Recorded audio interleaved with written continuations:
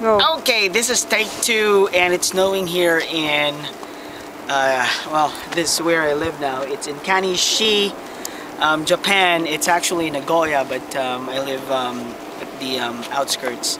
So um, it's Kanishi, and right here I have my niece. Look at Hey. Julliene. Very beautiful. Hey, baby. Very, very sexy. It's her birthday today. Happy birthday, Julliene. Hey, baby. Jules, smile and wave. Bye bye. Okay.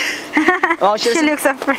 Well, she's not really afraid, but she's oh, it's you know, I mean, it's her birthday, and she doesn't really, she doesn't really look um, happy with the Freezing snow. cold. Um, there's a car passing by, so I'm just gonna say ciao now, and Ains, this for you, all right? Because I know you love snow so much, so this for you.